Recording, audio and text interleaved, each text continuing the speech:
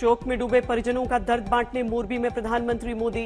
अस्पताल में जाकर पूछा घायलों का हाल, हादसे की जगह का भी लिया जायजा, अधिकारियों संग बैठक भी की।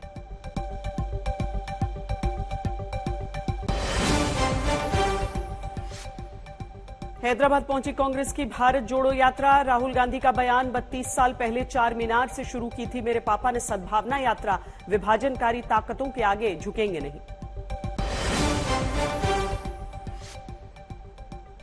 महाठग सुकेश का सनसनीखेज आरोप।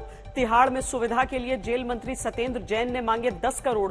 केजरीवाल ने लगाया मुद्दा भटकाने का आरोप। बीजेपी बोली, ये है आम आदमी पार्टी का भ्रष्टासन।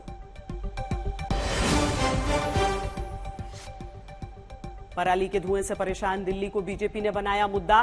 केजरीवाल से पूछा, पंजाब में आपकी सरकार, अब किस बात का इंतज़ार? मुख्यमंत्री मान का भी मांगा इस्तीफा। जम्मू कश्मीर में आतंकियों के खिलाफ सुरक्षा बलों का बड़ा ऑपरेशन। 24 घंटे में चार आतंकियों को मार गिराया अवंतीपुरा और अनंतनाग में सर्च ऑपरेशन। आप देख रहे हैं आज तक